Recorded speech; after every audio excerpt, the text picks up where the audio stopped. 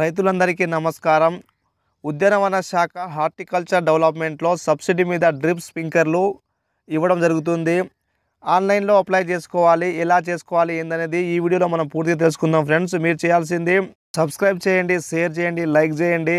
అయితే Aadhaar card compulsory ఉండాలి. OTP అనేది మీకు వస్తుంది అప్లై చేసేటప్పుడు. ఆధార్ కార్డ్ లింక్ అయి ఉండాలి.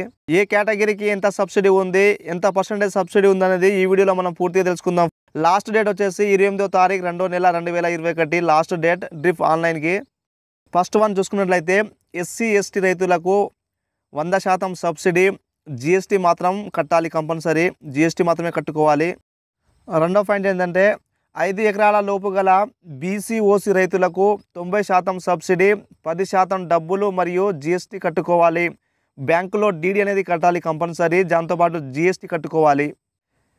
ఐదు ఎకరాల కన్నా ఎక్కువ ఉన్న రైతులకు ఎనభై శాతం సబ్సిడీ ఇరవై శాతం డబ్బులు మరియు జిఎస్టీ కట్టుకోవాలి. ఇది కూడా బ్యాంకులో డీడీ చలన కట్టుకోవాలి. స్ప్రింకర్లు ఎంత భూమి ఉన్నా ఏ రైతు అయినా డెబ్బై ఐదు శాతం సబ్సిడీ ఉంటుంది. అంటే ఇరవై శాతం డబ్బులు కట్టాలి. స్ప్రింకర్లు తీసుకున్న వాళ్ళకు ఇరవై శాతం డబ్బులు అనేది పే చేయాలి. బ్యాంకులో డీడీ ద్వారా కట్టుకోవాలి ఇది. డ్రిప్ శాంక్షన్ మంజూరైన తర్వాత బ్యాంకులో డీడీ చలన అనేది కట్టుకోవాలి కంపల్సరీ.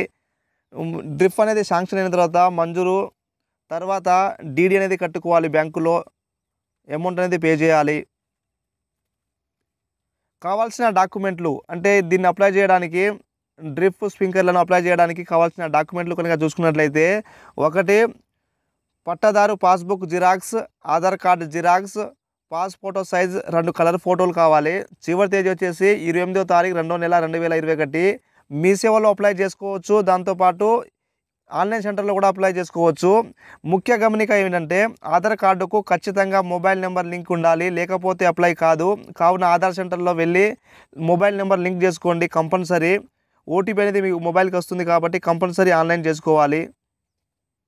అప్లై చేయడానికి వెబ్సైట్ కనుక చూసుకున్నట్లయితే టిఎస్ఎంఐపి అని సెర్చ్ చేయండి. వెబ్సైట్ వస్తుంది. ఇగో చూడొచ్చు మీరు నేను చూపిస్తున్న వెబ్సైట్ ఇలా వస్తుంది.